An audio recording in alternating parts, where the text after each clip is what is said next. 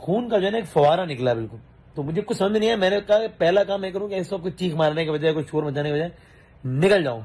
क्योंकि कैमरे लगे हुए थे ऑन एयर थे हम लाइव थे तो मैंने कहा बस यहाँ से निकलो। तो मैं फ़ौरन से मैंने वो सीन अवॉइड किया और मैं कैमरा छोड़ के भाग गया निकल गया।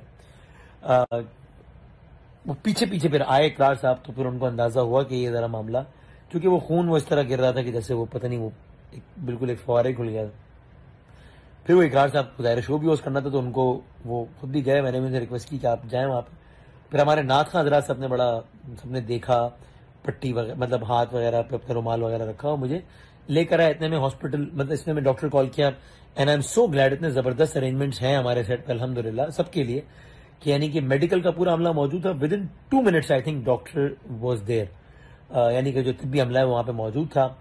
उन्होंने फिर देखा, वो जब मैंने भी जब जख्म पहली मरतबा देखा तो उसके बाद नहीं देखा, बस वही पहली पहली और आखिरी मरतबा वही देखा मैंने। तो फिर उन्होंने कहा कि इसमें स्टिचेस आएँगे, टाँके आएँगे। मैं कहा, यार, ये नहीं करो, बस अब ठीक है, हो गया, अब कुछ और कर लो। तो उन्होंने कहा, नहीं, टाँके इसमें लगाने पड़ेंगे।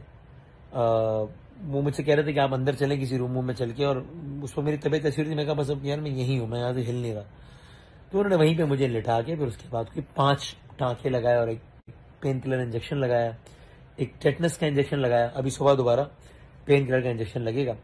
तो और ये कहा है मुझे कि इस हाथ को आ, कोशिश करें कि जरा इस अंदाज से यानी लिटाया हुआ ना रखें बल्कि थोड़ा सा इस तरह रखें। मैं कोशिश कर रहा हूँ कि जितना हो सके। तो बहरहाल ये सूरत हाल हुई थी। आ, आप सब लोगों का बहुत शुक्रिया। इकरार भाई के लिए भी बहुत दुआ करें कि एक ही दिन में दोनों के भाइयों के हाथ जो है वो मुतासर हो गए। तो अल्लाह ताला सेहत कामिला दे इकरार साहब को। और अभी ये बेहतर है वो अचानक से एक दर्द उठता है, वो हाफ़ इंच डीप है जख्म और पाँच टाँके हैं तो इसलिए जरा सा। लेकिन बहुत बेहतर है बहुत अल्लाह का बहुत शुक्र उसकी सूरत मैंने देखी थी। तो वो बड़ी, मुझे लग रहा था क्या हो जाएगा मसला ना हो जाएगा। और फिर अगर जरा सा उसके नीचे नसों पे लग जाती तो जहाँ से वो नस होती, वो तो ज़्यादा मसला आता है। तो बस ये था सारे का सारा मामला, मैंने कहा आप लोगों को गुजार कर दूँ। जिन लोगों ने पूछा उन सबका बहुत बहुत शुक्रिया। प्लीज़ दुआ में रखिएगा। और सेट है सब इनशाला और शाह रमज़ान में अल्लाह तला ने चाहा तो आपके साथ हाजिर है वैसी।